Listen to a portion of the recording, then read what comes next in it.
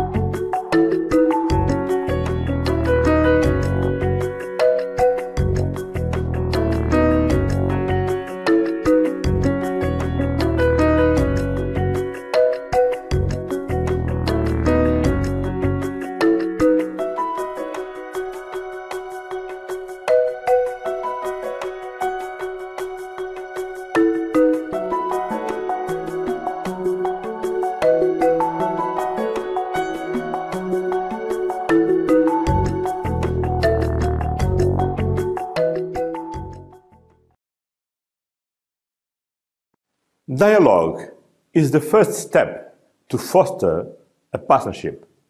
And partnerships among people or among regions or na- and nations are the proper tools to tackle global challenges. The ocean, a shared resource, is one of the greatest challenges humanity faces, both in terms of threats and opportunities. Therefore, coming from a maritime nation with a strong ocean agenda, I thank the organization for boosting these virtual ocean dialogues to discuss the most relevant issues on the international ocean agenda. The ocean got a standalone goal in the Agenda 2030 for Sustainable Development Sustainable Development Goal 14. This is the first time the ocean is singled out in more than 30 years of global development agendas. Looking with today's eyes, this looks incredible because of ocean's importance for the planet and humankind. The ocean offers a plethora of services that are not monetary value. Food, energy, or transport, for instance, are easy to be assigned a transaction value. But is, but is not the case for many of the so-called ecosystem services, like the production of oxygen and the absorption of carbon dioxide and excessive heat from the atmosphere. Therefore, while these ocean services regulate the climate system, the interconnection between ocean and atmosphere means also that climate change is deeply affecting the health of our oceans and seas. Increase of average temperatures and thermal expansion sea level rise, deoxygenation, and ocean acidification are already seriously affecting marine ecosystems and endangering marine species. The ocean is a fundamental resource to tackle climate emergency. We cannot embrace international efforts to climate change mitigation and adaptation without considering the marine environment. As such, the ocean must be deeply embedded in the negotiations of COP26 next November in Glasgow, contrary to the Paris Agreement that barely addresses it. The oceans are also experiencing a, a challenging biodiversity loss that potentially affects its structure, functioning, and productivity. This is the reason why the ocean and marine systems deserve a stronger visibility in the agenda of COP15 of the Convention on Biological Diversity next October in Kunming, China. Portugal is pushing toward that objective, and I make an appeal to all maritime countries to cooperate to support a strong marine agenda on both the climate COP26 and the biodiversity COP15. The Global Ocean Action agenda for the next two years includes, as we see, the following major events. First, the COP15 of Biodiversity Convention. Secondly, the COP26 for climate change. And finally, and the second United Nations Ocean Conference to be held next year, here in Lisbon, in Portugal. The United Nations Ocean Conference is intended to scale up ocean action through science and innovation, increasing and improving cooperation and coordination at all levels, promoting capacity building and financing towards a more ambitious SDG 14. As a drumbeat ahead of the second United Nations Ocean Conference, next 1st of June, the President of United Nations General Assembly, with the representatives from the governments of Kenya and Portugal, as well as the United Nations Special Envoy for the Ocean, will convene a high-level thematic debate at the headquarters of United Nations in New York. This is a positive momentum of implementation of uh, SDG 14. Meanwhile, the world must embrace the major and unique endeavor under the auspices of UNESCO, United Nations Decades of Ocean Science and Sustainable Development, which spans between 2021 and 2030. The ocean remains greatly unknown, and exploring it requires a great effort. As a fellow compatriot of mine and the pioneer of international ocean governance, the late Professor Mário Ruivo used to say, humanity without ocean, science, and technology is deaf, dumb, and blind. Portugal has supported these decades since the beginning. Last February, the President of Portugal has also joined the Ocean Decade Alliance to mobilize the much needed partnerships and resources. In the launching of the Conference of the, on the Future of Europe, I propose that we work within the European Union on a global agenda for the oceans 2050. Others have given priority to Moon or to Mars. Europe must embrace the oceans as a cause and a mission. Portugal embraced the cause of the oceans and is very much committed to promote and project an international ocean agenda. Our national ocean strategy 2021-2030 values international collaboration and advocates a strong commitment to international ocean diplomacy. Our language brings us closer to other Portuguese-speaking nations across the ocean, where maritime affairs have led, for instance, to the Mindelo Declaration for Cooperation in scientific research, economy of the sea, or in combating illegal fishing and maritime pollution. Holding until June the presidency of the Council of the European Union, Portugal will organize next 8th of June in the World Oceans Day a ministerial conference on the Blue Agenda in the European Union Green Deal, strengthening the importance of a sustainable blue economy in Europe's economic recovery. The global ocean embrace us all. Make no mistake, even in the landlocked country, the ocean is important a central part of the water cycle, the carbon cycle, and the climate system. Let us take bold action together, striving for a healthy and productive ocean. Your Excellencies, distinguished guests, ladies and gentlemen, it is my pleasure to greet you today at this dialogue on leveraging the UN Decade of Ocean Science for Sustainable Development. It is a critically important dialogue because the world urgently needs to expand its use of the ocean to sustainably produce food, energy, and to facilitate transportation.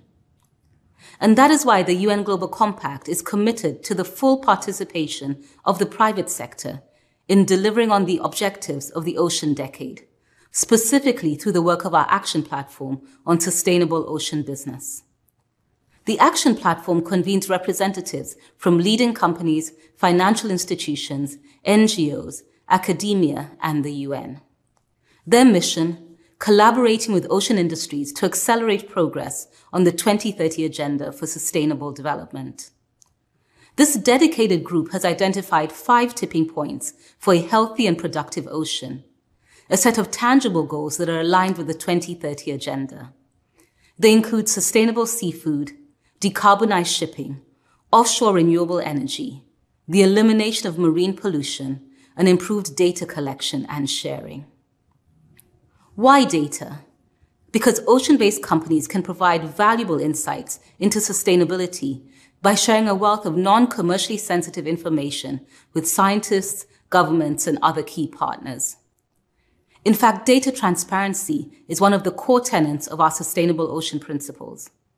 By signing these sustainable ocean principles, in addition to the 10 principles of the Global Compact, businesses agree to break down barriers and foster cooperation between ocean industries and the scientific community. Building bridges between business and science is not just good for the ocean. It can also generate real benefits for the private sector, including cost savings, operational efficiency, and new financial flows, as investors increasingly seek out sustainable opportunities in the emerging green and blue economies.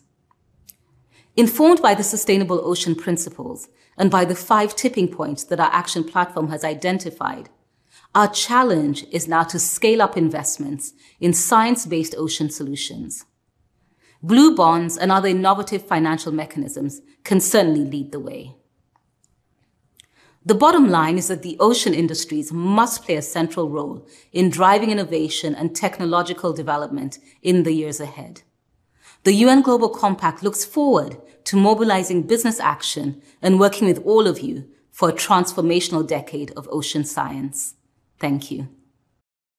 Welcome to the Virtual Ocean Dialogues opening session, leveraging the UN Decade of Ocean Science for Sustainable Development, Bridging Science and Solutions. The session is co-hosted by UNESCO's Intergovernmental Oceanographic Commission and the World Economic Forum's Friends of Ocean Action, a group of over 65 ocean leaders who are fast tracking solutions to the most pressing challenges facing the ocean. My name is Jane Lubchenco. I'm the Deputy Director for Climate and Environment at the White House Office of Science and Technology Policy, and I'm delighted to be your moderator today. We have a great panel lined up, including Katherine Garrett Cox, CEO of Gulf International Bank and a friend of Ocean Action, Kerstin Forsberg, founder and director of Planeta Oceano and a friend of Ocean Action, and Alfred Giron, who is one of the co-founders of the Ocean Decade's early career Ocean Professional Working Group, and an Andre Hoffmann Fellow at the Stanford Center for Ocean Solutions and the World Economic Forum's Center for the Fourth Industrial Revolution. Finally, Vladimir Ryabinin, the Executive Secretary of the Intergovernmental Oceanographic Commission at UNESCO, and also a friend of Ocean Action, will close the session. With the UN Ocean Conference postponed to 2022, the virtual ocean dialogues will allow the global ocean community to maintain focus and momentum on ocean health in the face of the pandemic. As many of you are well aware, there are a number of multilateral environmental related gatherings planned for 2021 where the ocean must feature prominently, including the UN Decade of Ocean Science for Sustainable Development, which was launched just this year. The Ocean Decade is a global movement to reverse the declining state of the ocean, to achieve the United Nations Sustainable Development Goal 14 to conserve and sustainably manage the oceans, seas, and marine resources by 2030. It is providing, quote, the science we need for the ocean we want, unquote, by establishing the framework and setting the enabling conditions to harness, stimulate, and coordinate research efforts of all stakeholders at all levels. Our collective objective for today's session is to explore the potential of the ocean decade to support the delivery of information, action, and solutions needed to achieve the 2030 agenda. We will also highlight how all individuals, regardless of the sector they come from or the geographic area they represent, can help leverage, leverage the decade. The decade has the ambition to trigger a revolution in ocean science to move from the ocean we have to the ocean we want. This is needed more than ever as the world turns its attention to the post COVID 19 recovery and explores ways to build back better, to build back bluer. To meet its ambitions, we need to leverage our collective resources, including expertise and funding, to understand and monitor the rapidly changing ocean, and to co design ocean based solutions and approaches needed to reverse the decline we want to make sure that these needed solutions will lay the groundwork to equitable and sustainable ocean economic development under a changing climate. But let's take a step back and ask ourselves why is it so important to better understand and protect the ocean? The ocean covers 71% of the planet's surface and represents 99% of the inhabitable space. More than 3 billion people depend on the ocean as their primary source of protein, and over 260 million people are directly or indirectly employed just by marine fisheries. Accounting for all industries, the ocean represents up to 5% of global GDP. The ocean also plays an important role in regulating our climate system, absorbing up to 30% of anthropogenic CO2 emissions, and thus buffering the impacts of climate change. And while it provides all of these services to us, it is also subject to increasing human impacts, including pollution, overfishing, climate change impacts, and loss of coastal habitats. So we are at a critical point to stop and reverse the declining state of the ocean. To do so, we need to create the framework and the spaces to foster innovation across all stakeholders. We want to bring in governments, industry, UN agencies, academia, philanthropy, civil society, and international and regional organizations. We want to unlock new financing mechanisms to support ocean innovation that drives sustainable, equitable, and inclusive economic development. We want to better understand the ocean to know how to go from the ocean we have to the ocean we want. This is what the Ocean Decade has set to achieve. So, in this session, we will talk to leaders across all sectors of society to learn how everyone can contribute to achieving this vision of the Ocean Decade. We are very, very grateful to the World Economic Forum and the Friends of Ocean Action for hosting the dialogues and the Intergovernmental Oceanographic Commission UNESCO for co hosting this session. To kick us off, I'm delighted to invite Katherine to give us some perspectives. Katherine, thanks for being here with us today. I want to turn to you as a representative from the finance sector. Can you tell us what is the role of the finance sector in supporting ocean research and innovation? And as a follow up to those points, we cannot achieve the ambitions of the decade without adequate financing. So, how can innovative financing models be used to trigger investment in ocean research and innovation that is inclusive? And how can the sector effectively use the decade as a tool to commit to this support? Over to you, Katherine. Thank you so much, Jane, and it's great to see you, uh, everyone here today. Uh, welcome to this opening panel. Um, I mean, as you said, Jane, in your opening remarks, the reality is we all need to collaborate to create the vision that we want to see for this ocean decade. And I'm pleased to say that the finance sector has an important part to play in all of this. I think one of the key things that's very evident is that the finance sector is a huge user of data. And therefore, the link between investment in new research and development is absolutely key.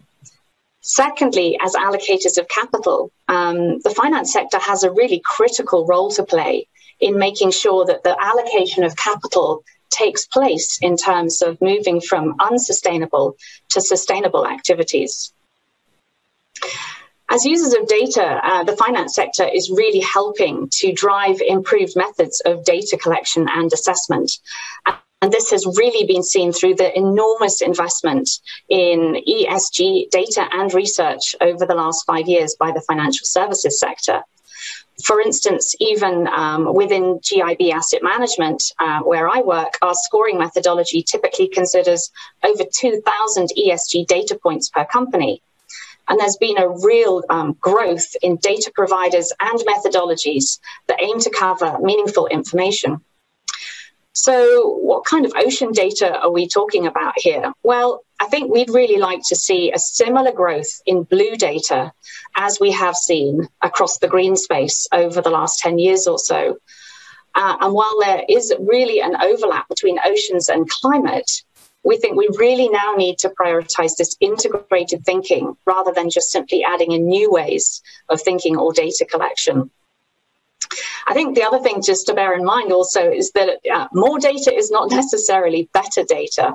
Um, we've got to make sure that it's meaningful, comparable, uh, decision ready, and uh, applicable. So I think, in essence, um, we really think that the Ocean Decade can be leveraged to encourage collaboration towards strengthening data in order that we can more accurately assess the potential meaningful returns available to investors. And I think, in terms of moving to your question about how do we actually use these innovative models to trigger investment, I think what's very clear, and particularly over the last uh, few years, uh, is that innovative financing models have increasingly been mobilized uh, for the development of positive uh, developmental outcomes, um, particularly in new mechanisms that the investment community are using to counteract climate change. And we really think that the success of financing models uh, that will enable investment in ocean research and innovation is going to really be reliant on three fundamental factors. First, there's going to be increased collaboration between the public and private sector, and this is clearly one of the ways that we can all work together uh, to really leverage uh, what we what we want to see. I think, secondly, we think there's going to be increased engagement by asset managers with investee companies on ocean sustainability issues, and we're certainly seeing that a lot within our portfolios today. And I think the third thing is that we want to see entrepreneurial data development, which will enable traditional uh, financial models um, adapted to blue challenges. So, I mean, ultimately, it's all about collaboration, engagement, and purposeful data development. And I think the last thing I would say, Jane, is that uh, we really believe that blended finance as perhaps one model is really going to come forward and be more relevant. If there's been a world in which people have operated in silos or vacuums, we think that is not going to be how success is achieved, particularly not in the next decade. So, thinking about ways in which public private partnerships can really work together, I think will really transform and hopefully, to your point, deliver the ocean that we want for the next decade. Thank you, Jane. Thank you, Katherine. I really, really like the focus on smart data, on integrated approaches, and collaboration. Um, you really highlighted the need to mobilize both banks and investors in supporting ocean research and innovation. So thank you so much for that perspective and for what you and your colleagues are doing. I want to turn now to Kerstin to get her perspective on this. Kerstin, let's talk about how we can ensure that science based knowledge is more equitably generated and used by communities that stand to be the most vulnerable to the current and future changes of the ocean. What, what do you see as the role of civil society to ensure that this happens?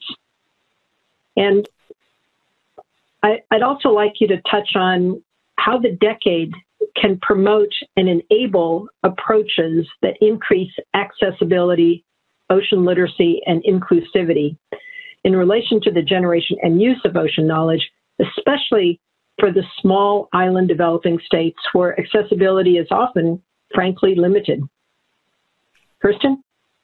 Thank, thank you very much, Jane, and it's a pleasure to be here. Um, I think that one thing that we need to talk about when we're mentioning ocean science and the ocean decade is that ownership and local ownership and empowerment and co-creation is key. And, and I'd like to briefly touch on two specific aspects, which is the need to really build capacity amongst local leaders and strengthen local leaders across the globe and also to uh, really ensure that local and traditional knowledge is incorporated and valued within our science and within our decision system. So it's not just about giving the tools to the local people, but also to hearing and uh, what people have to say.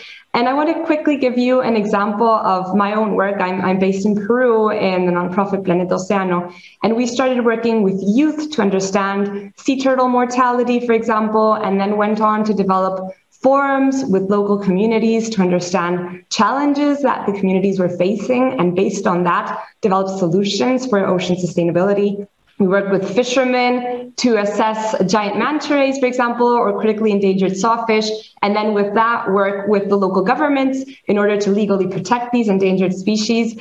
So I really think that uh, people, having people at the core is critical if we want to advance ocean science for the decade. And I'm not just talking about uh, engaging people or citizenship participation on a token way. I'm really talking about really shifting the way and sometimes our systems, how they are working, and sometimes even pushing beyond our own boundaries of our work to make sure that we're having partnerships with wide range of people, including youth, including fishermen that we're developing unexpected partnerships at some points as well.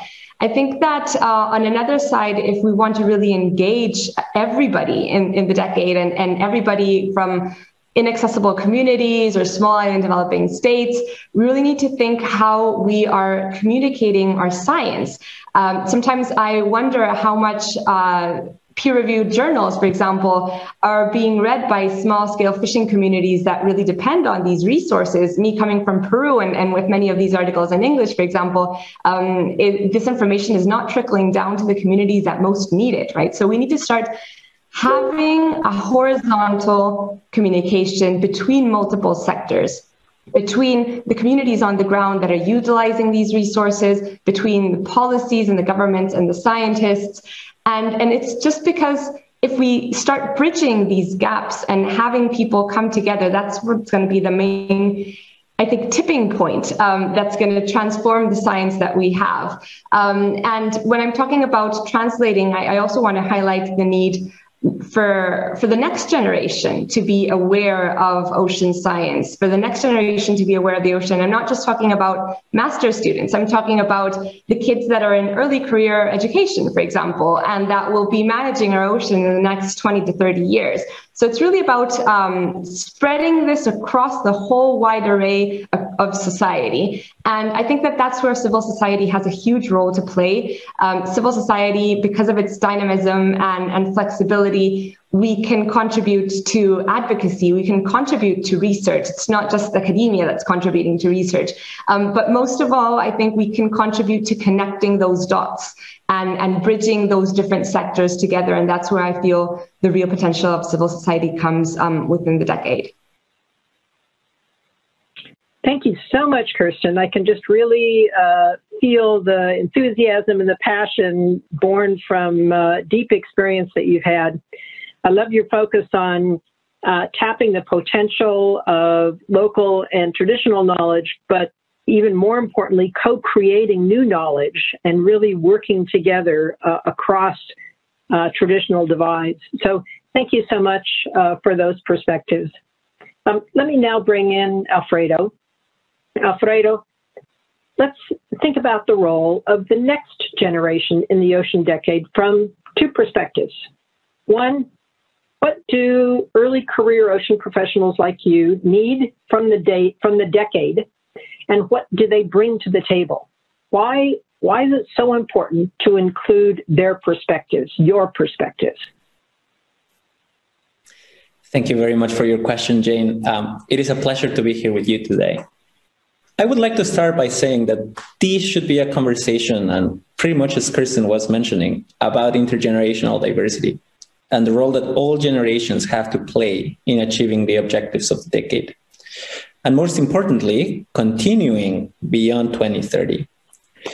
So, why has the decade focused so much on the role of early career ocean professionals, or ECOPs as we call them?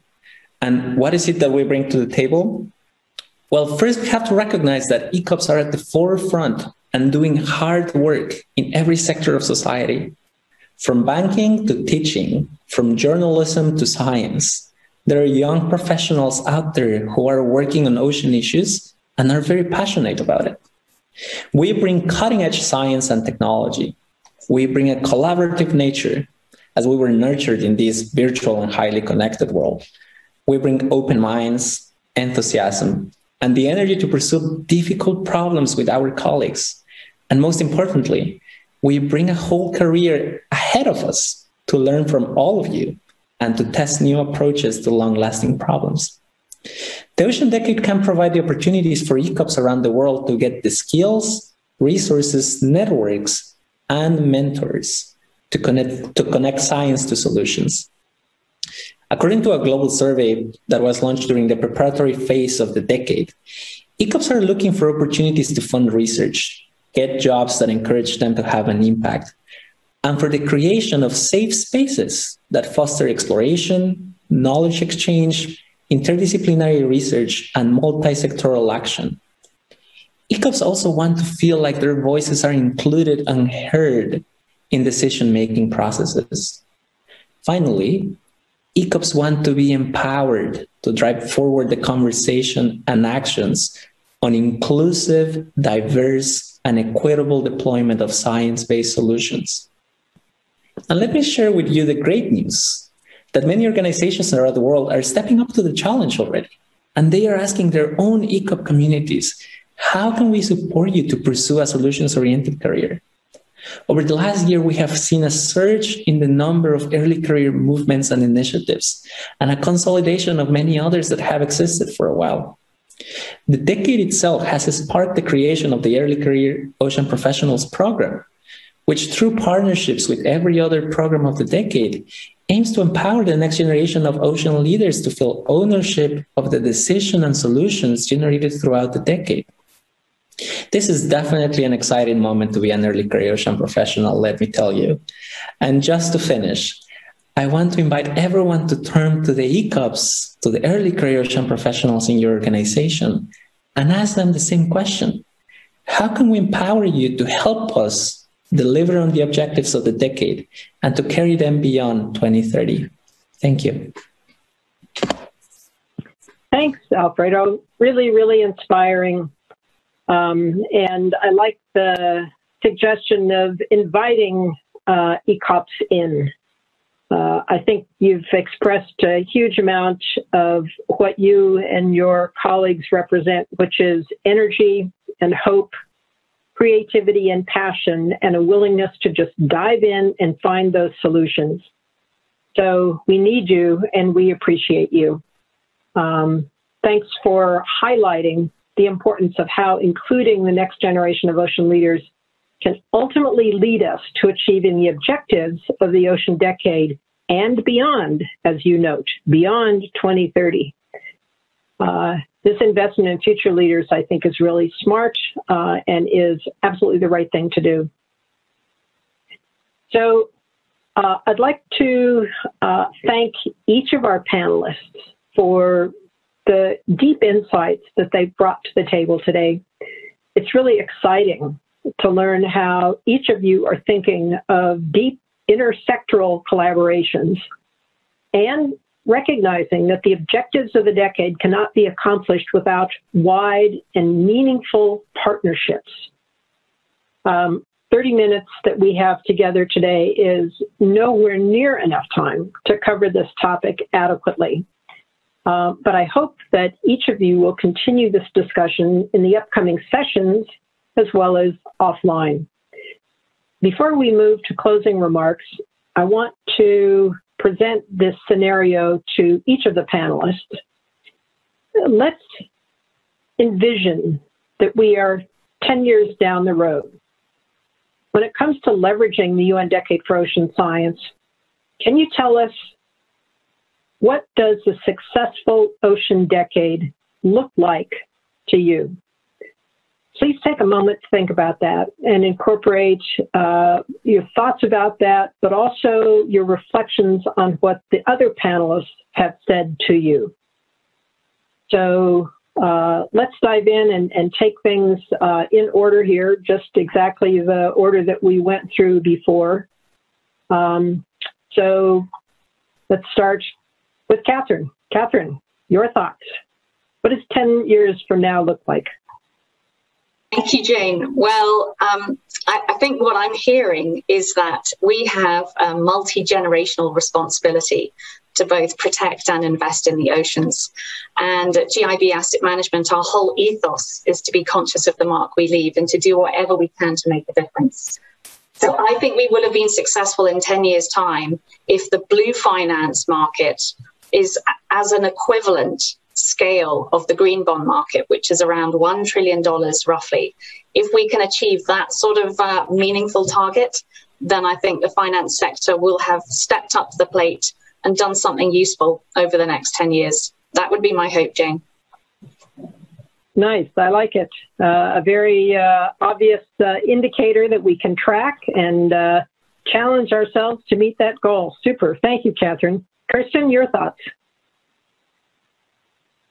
Thank you, Jane. Um, for me, it would be a dream to see from here in 10 years on that society as a whole embraces the fact that we all depend on the ocean and that we have ocean literacy embedded throughout society. It's it's no longer a green approach, as, as Katherine was mentioning earlier. We all have to have a blue approach, uh, whatever sector that we come from.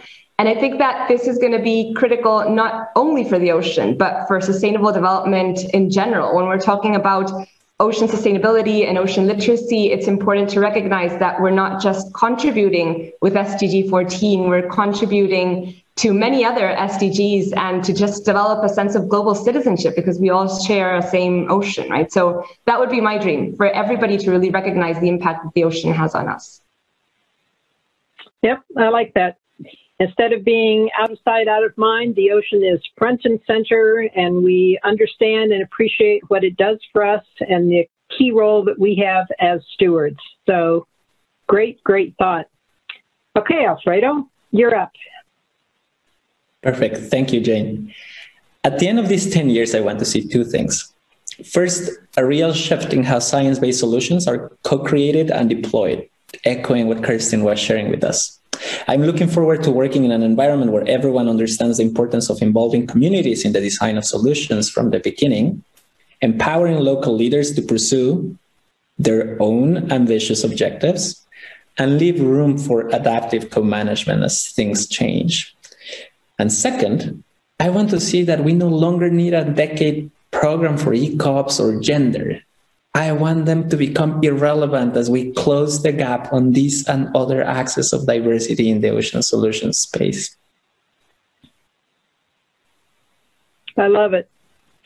We are going to enter an enlightened age uh, where uh, we are uh, working seamlessly together with communities, but incorporating everybody at the table that that should be and needs to be. Uh, and let's make these dreams come true. I, this will take a lot of work, but given the passion and the ideas and the specific um, programs that you all have mentioned, uh, I think this is quite achievable. I would now like to turn to Vladimir to summarize the discussion and provide a few closing remarks. So, no small feat here, given all the rich uh, information we've had. But, uh, Vladimir, I know you're up to this challenge, so over to you. Thank you so much, Jane. Uh, and, you know, uh, it will be a bit unexpected, but I would like to thank you, our moderator today, for taking us where we are because I remember the climate discussions and your initiative when you formulated the social contract of climate science. Not only you need to know what is happening, but you need, really need to do everything to turn your knowledge into action and save climate. I think in because of that we have Paris Agreement. But now is the time and the turn to the ocean. And ocean also requires a social contract for ocean science. And the decade is a, a mechanism for us to, first of all, present this necessity and secondly implement the social contract. And then exactly the thing will happen that alfredo was uh, was uh, dreaming of because then we, we will not need artificial constructions. I think we'll we will live in more harmony with the ocean. And it is very logical to have uh, this um, discussion uh, you know uh, enriched by by a banker by a person who is uh, uh, trying to uh, communicate the knowledge and engage the society and and the early career scientist so actually I'm concluding this. I'm a scientist, and Eugene is a, a very impactful uh, marine biologist. And but now we are bringing together uh, people who really will solve the social problem of science. So the science as hard science, natural science, now starts affecting the society. And the modern leadership is in partnership. So this is the partnership that is emerging now with these wonderful ideas. So just the science that is sitting in an ivory castle is uh, basically unable to achieve anything. But the science that is now in the minds and the hearts of people for the beautiful uh, subject, uh, love to the ocean, I think is very capable science. And this is what we are trying to achieve. Uh, you know, but coming to uh, scientific challenges, I would like to say that the IOC very soon will announce first uh, portion of the decade programs, and you will be really surprised positively because you will see this is not about just making kind of additional instrumentation only or developing only observing system or data system. This is about indeed empowering people empowering women, uh, going into the domain of cultural heritage. So having a really harmonious relation with the ocean. And science is just part of that exercise. But the science is central part of the exercise. You know, the science, our science was based on curiosity. Now the science uh, uh, combines talent and ingenuity with also clear societal understanding that what we do is essential and even existential for uh, for moving forward and living sustainably. And that's exactly why I need young people on board because sustainable development is to live well and also uh, ensure that the future generations have the capacity to live also in dignity in, in, in, in this well-being. So I would like to thank everyone on this panel. I would like to thank uh, World Economic Forum for giving us this platform. And I think we are embarking on something that is going to uh, change the face of the world because ocean will help us live better, live in more dignity, in more equity. And I think we are poised to make it happen. Thank you. Vladimir, thank you so much for what an, uh, such an inspiring uh, wrap up and conclusion. Uh, a social contract for the ocean, uh, music to my ears, certainly, uh, but seeing science and society as uh, true partners, bringing natural and social sciences together, but also partnerships across sectors, across generations, and between people and nature Uh, these are some really rich ideas, and I love that they are emerging from this cross sectoral, cross generational dialogue. Um, thank you, Vladimir, and thank you, everyone, for joining us. Uh, our panelists today have really planted some very, very uh, wonderful seeds. Uh, please continue to follow the Virtual Ocean Dialogues program online. There will be additional sessions hosted today and tomorrow on a range of critical topics on accelerating ocean health. We encourage you to also register and join the conversation at the deep dive discussions later today related to this topic, hosted by the Intergovernmental Oceanographic Commission, UNESCO, and the Schmidt Ocean Institute, as well as by the Center for the Fourth Industrial Revolution for the Ocean in Norway. Thank you all so much. Thank you, panelists. You've been spectacular. I really appreciate all that you are doing and have said. Have a wonderful rest of the day, everyone.